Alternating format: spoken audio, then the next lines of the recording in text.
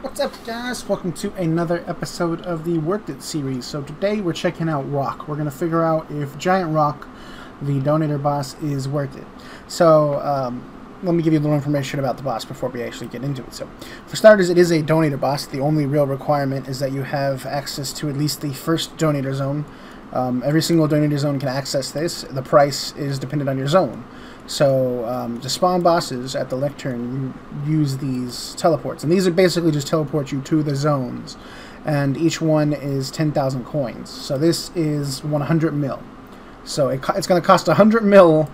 We're going to kill 400, I believe. I believe. So I suppose the question is, can you make money back?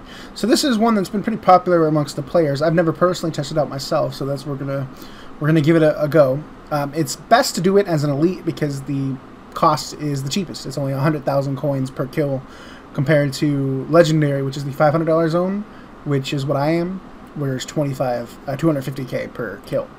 So uh, whenever you just click one, it spawns the boss.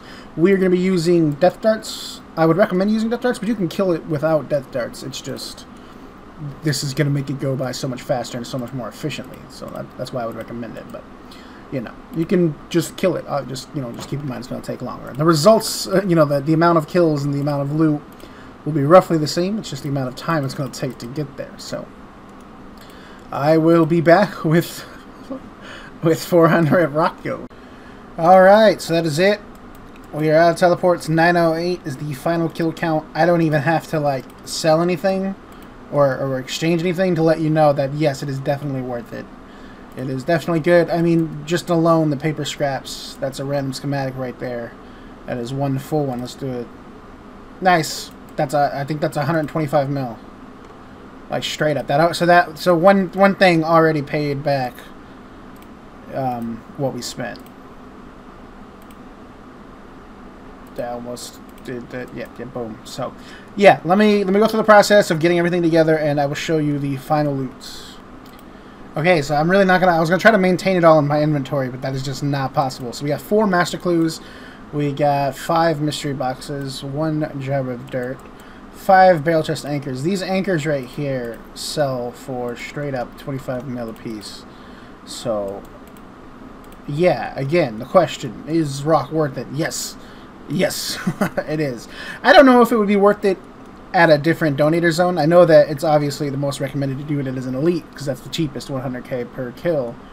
Um, and then if you were if you were like a normal donator donator zone, it would be one mil per kill, um, and that would be like 400 mil. So I don't I don't think that would be worth it. But I think if you have contributor and up, it could be it could be definitely worth it. So I mean we've we've got a lot of stuff that we can still get rid of.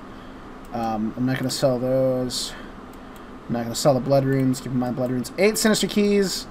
I mean, let me let me get those back out just so we have those there. We did get one jar of dirt. We will spend that. All of the fossil bits we can turn into Numulite, and that's mystery boxes by itself. Yeah, it's definitely worth it. Definitely, definitely worth it. So what I'm going to do, um, since since the event is out while I'm making this video, and I want to try to get as much pure cash as possible. I am going to open up all these keys, turn in all the Numulite, sell everything, and just see where my cash stack is. I only had 5 mil before, so you can get sort of a rough idea of what we got. Let's exchange the jar, see how many pest control points we get. Pest control... So that's roughly one mystery box. Not a high amount. That kind of sucks. Also got to factor in the 70 leftover paper scraps. That technically gives me another one, but since the other 30 aren't a part of it, I'm not going to count that. But just keep in mind 75 paper scraps. Also, I looted the cannon and the feathers, but I don't know if they're even valuable. I don't think they even are, so um, you could always not loot those. And there were things I didn't loot. Um, sometimes rare drop table loots, like the, the, lava bones and stuff like that. It just wasn't worth the inventory space. Also, you get dragon two-handers, so, I mean, what are these? 1 mil each, 29 mil, easy cash. Easy cash was able to get 35 mystery boxes. Alright, so I sold most things. We still have those five master clues. I'm not going to open those up, but you can... Well, actually, I guess it's nine, because I did get those from clue boxes, which I got from Roc. So just uh, just imagine what nine master caskets could include. Um, we also have some stuff we can disassemble, like the Black Mask 10s. Uh, yeah, definitely worth it.